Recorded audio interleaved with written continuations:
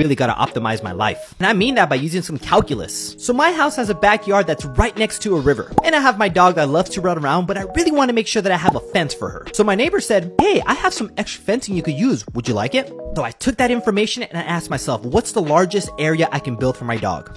Good thing I knew some calculus. So here's a picture of my backyard and this is the type of fencing that I want to create. My neighbor gave me 100 feet of fencing and now I want to find the dimensions that are going to give me the max area. So first let's start labeling this values as x, we have x, and we have y. And now we can create an expression for our perimeter which is 2x plus y is equal to 100. And now we have the equation for our area, but because this equation has two variables, we want to go ahead and create this in terms of one variable. So for the top, we solve for y, so we substitute that value in for the y, we distribute the x, and now we have an equation involving the area in terms of one variable. And since they want us to find the max area, we gotta take the derivative of this function. And once we take the derivative, we set it equal to zero, we solve for x, and that's the x value that's gonna give us the maximum area.